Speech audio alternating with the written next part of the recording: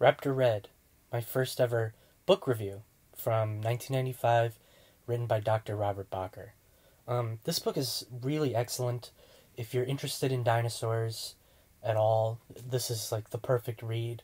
Really puts you in the world, the prehistoric world of the early Cretaceous, um, North America, and this adventure with this Utahraptor named Rap th- that the author calls Raptor Red.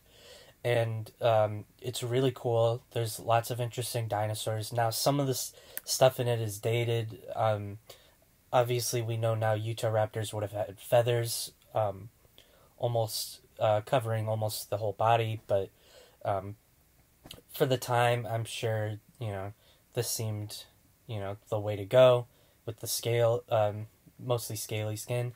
So I think it's um, it's a really good book. I recommend it.